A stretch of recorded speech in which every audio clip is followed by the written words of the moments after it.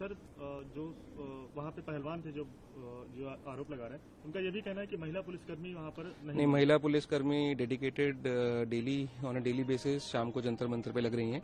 आज भी मौजूद थी।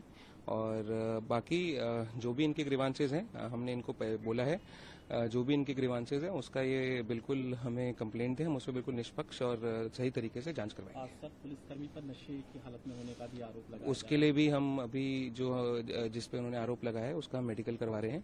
और आप निश्चिंत रहिए कि हम बिल्कुल ही जो भी इसमें होगा निष्पक्ष कार्रवाई करेंगे।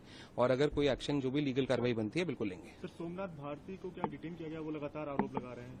हाँ सोमनाथ भारती को हाँ जी? दो लोगों के साथ डिटेन किया है। और जो घटना जिस तरह की तस्वीरें सामने निकल आई उस पूरे मसले पर सर क्या अपडेट है? क्या कुछ ये बेसिकली ये जो जंतर मंतर की प्रोटेस्ट साइट है उसमें अ, ये सोमनाथ भारती जी जो हैं कुछ फोल्डिंग बेड्स लेकर आए थे।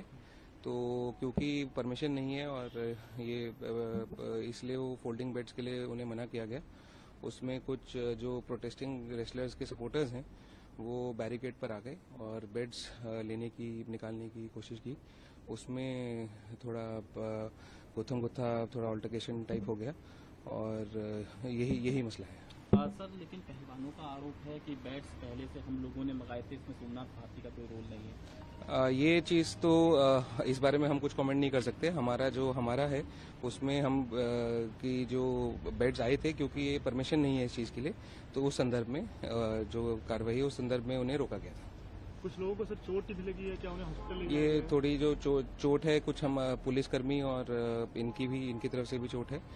हॉस्पिटल ले जाने के लिए हम इनसे रिक्वेस्ट कर रहे हैं कि हमें दे दें हम इन्हें हॉस्पिटल ले जाएँ।